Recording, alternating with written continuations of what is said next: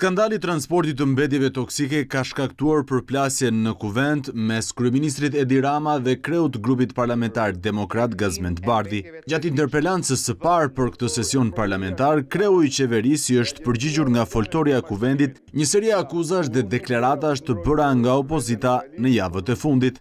Burimi i kësaj tjetër telenovele politike të fundverës, që u shfaq paralelisht me atë të ngjarjes Pogradecit, ishte një sinjalizim për një transport mbetjesh të rrezikshme nga Shqipëria drejt Azisë. Ndërkohë kreu i grupit parlamentar demokrat, Gazment Bardhi u shpreh se me rastet e fundit të denoncuara nga mediat ndërkombëtare, Shqipëria rrezikon të dënohet për shkelje të konventave ndërkombëtare mjedisore. Shqipëria ka shkelur Konventën e Bazelit, Traktatin e Kombeve të Bashkuara që rregullon tregtinë e mbetjeve të rrezikshme. Vendet nënshkruese, mes tyre dhe Shqipëria, nuk lejohen të dërgojnë mbetje helmuese tek një vend tjetër nëse nuk kanë marrë miratimin paraprak nga vendi pritës. Kryeministri largoi përgjegjësitë e Portit të Durrësit në këtë çështje, duke akuzuar opozitën për ngritjen e një kauze mbi bazën e mashtrimeve.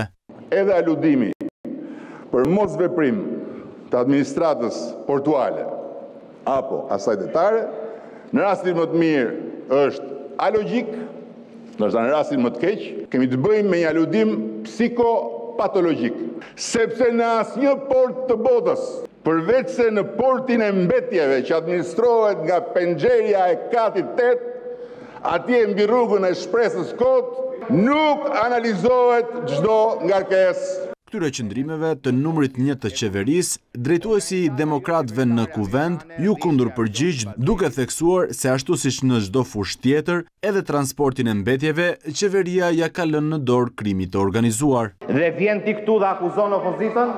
Për ça ia akuzon ti opozitën? Që të thotë ty se je i lidhur me krimin e organizuar? Ne po abuzojmë me të drejtën për të kërkuar ty llogari? Po patjetër që do japësh llogari. Kur zotrote i ke dorëzuar pushtetin krimit të organizuar, i ke dorëzuar policinë krimit të organizuar, i ke dorëzuar portin e Durrësit krimit të organizuar dhe përgjegjësia mbetet e opozitës. Kryeministri Rama sqaroi se mbetjet e dala nga Shqipëria nuk cilësohen si toksike.